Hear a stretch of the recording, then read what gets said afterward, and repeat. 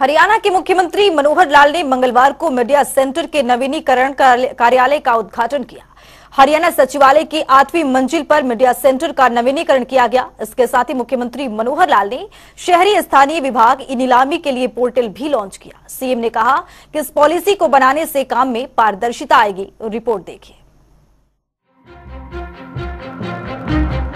हरियाणा के मुख्यमंत्री मनोहर लाल ने मंगलवार को मीडिया सेंटर के नवीनीकरण कार्य का उद्घाटन किया, जिसके बाद सी मनोहर लाल मीडिया से रूबरू हुए और मीडिया सेंटर के नवीनीकरण को लेकर मनोहर लाल ने कहा कि मीडिया कर्मियों की आज की आवश्यकता के अनुसार आधुनिक तकनीक की सुविधाएँ, सूचना, जनसंपर्क एवं भाषा विभाग द्वारा हरियाणा सिविल सचिवालय की आठवीं मंजिल पर स्थित मीडिया सेंटर का नवीनीकरण करके उपलब्ध करवाई गई है ताकि सरकार की उपलब्धियों को मीडिया के माध्यम से लोगों तक पहुँचाया जा सके।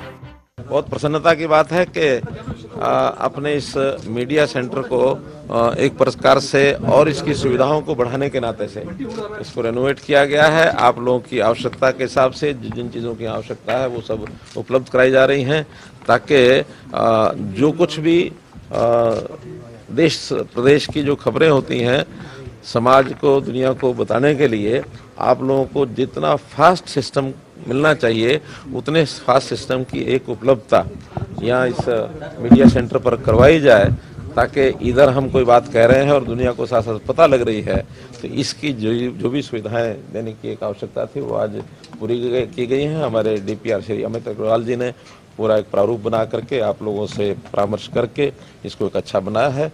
इस संदर्भ में मैं आपको बहुत बहुत बधाई और शुभकामना देता हूँ। और इसी प्रकार से आगे भी कोई आवश्यकता होगी तो उसको पूरा करते रहेंगे।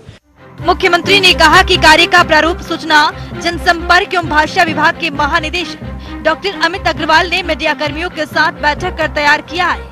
उन्होंने मीडिया कर्मियों को इस कार्य के लिए बधाई एवं शुभकामनाएँ दी। मुख्यमंत्री ने कहा कि आज के दौर में मीडिया के लिए आधुनिक सुविधाओं का होना अत्यंत ज़रूरी है। इसी ज़रूरत को ध्यान में रखकर सरकार ने मीडिया के लिए नई सुविधाओं से सुसज्जित आधुनिक मीडिया सेंटर की सुविधा उपलब्ध करवाई गई है। मीडिया सेंटर में प्रिंट, इलेक्ट्रॉनिक व सोशल मीडिया से जुड़ी तकनीक जरूरतों को उपलब्ध करवाया गया है। इस दौरान मुख्यमंत्री ने विज्ञापन स्थलों की नीलामी के लिए पोर्टल भी लॉन्च किया। जिसके बाद सीएम मनोहर लाल मीडिया से रूबरू हुए।